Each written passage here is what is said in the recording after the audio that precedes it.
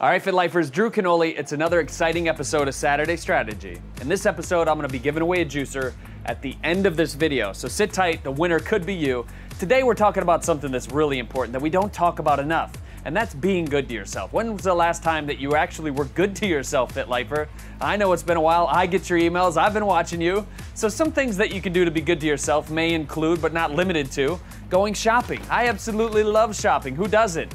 Buying good food for yourself fueling your body with what you need. Maybe you could do a little foam rolling or get a massage. When's the last time you had a massage? Foam rolling actually opens up your muscle fascia, increasing the oxygen in your body, making you feel good, sending endorphins to your brain. One thing that I love to do is actually read. When's the last time you read a good book, Fit Lifer? They say every single book that you read increases your knowledge, increases your bank account, increases your well being, and increases your overall life. I love to read. People that are affluent love reading, and that's why I do it. I, I know you want to go from average to awesome, or maybe you're awesome already. One thing that you need to start doing, Fit Lifer, is reading more books. I love to read books. Or we could do a little yoga, okay? It's nice every once in a while to do some yoga. Yoga lowers your cortisol levels, thus reducing your stress. Relaxing. That's what it's all about today, Fit Lifer. It's about relaxing, enjoying, living in the moment. You know, another thing that I absolutely love to do and I know you probably do as well. Maybe you're a little scared because you heard the sun is bad for you. You shouldn't be out in the sun, but the sun's actually really good for you. It's loaded with vitamin D. Vitamin D is an essential hormone. One thing you might want to do is do some tanning. Lay out in the sun 15, 30, 25 minutes a day is all it takes, Fit Lifer. And then you're going to get all the benefits from this quintessential hormone from the sun. Absolutely amazing.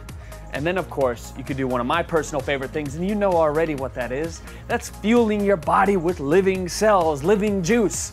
That's what this is. So, why not make a summertime juice because it's absolutely beautiful here in San Diego? You can make it anywhere in the world, actually. So, let's make a non alcoholic mojito juice recipe. Shall we do that? I'm gonna need a lime. Thank you. I'm gonna need a cucumber.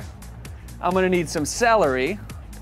I'm gonna need a little bit of pitcher and a water maybe. Maybe that's what I need. Here we go.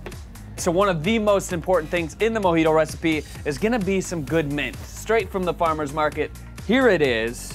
And then also, after we make this juice, it's very important, the most important part of the recipe actually, is to have it with some good friends. Hey, Drew. Here we are. Hey guys. Good to see you. Thank you. Let's have some juice.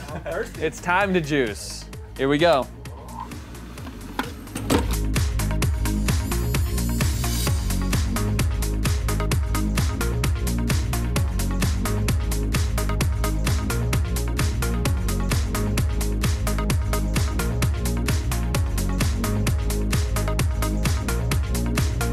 All right, so you're probably wondering who the winner of this week's Saturday Strategy is.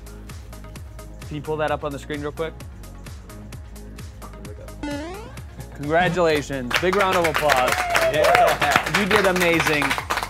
We picked you because you're expressing what it means to be a fit lifer, and we appreciate you for that. So, with all of our heart, the juicer's going out to you. Stay consistent, stay transformed, and remember, We're in this together.